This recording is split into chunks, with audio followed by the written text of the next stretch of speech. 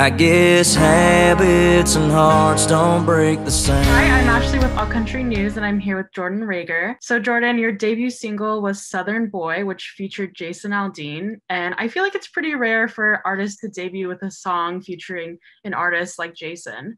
Can you talk a little bit about what that experience was like? Me and Jason have known each other for several years before we recorded that song. Our, our families are friends and we you know known each other for a couple of years and we always used to joke about like man it'd be fun if we like did a song together one day you know? But it was never at least to me it was never anything more than just like two friends bsing with each other you know?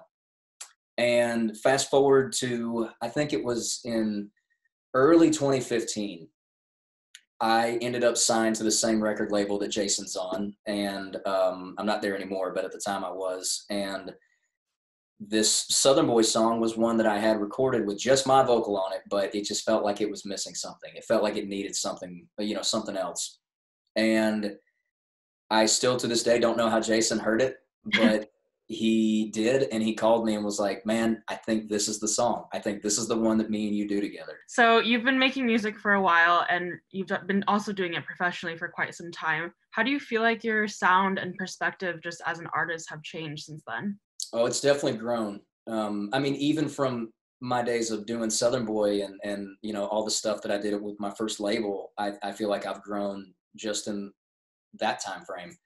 Um, I think it's important for artists and songwriters to evolve with themselves because I'm natural like I'm to get older, I'm to have more experiences, I'm to experience more things and learn more things about myself and about the world around me.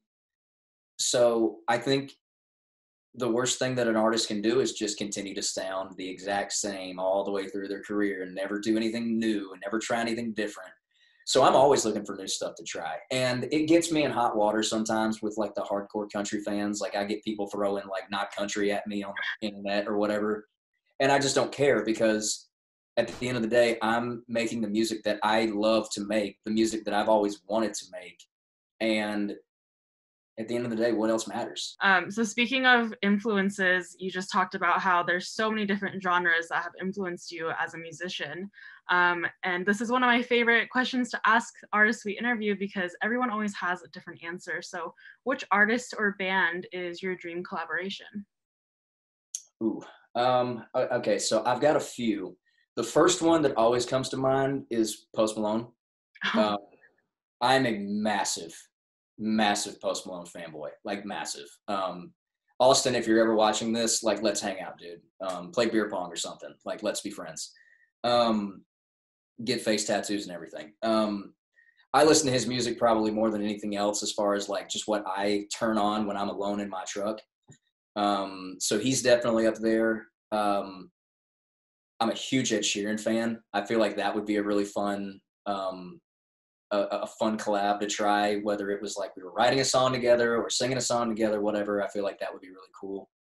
Um, and then, I mean, other than that, you know, there's, I mean, I could go on all day about people I want to work with, but, um, you know, one of my, this is going to really, this will really be a curveball. This is way out of left field.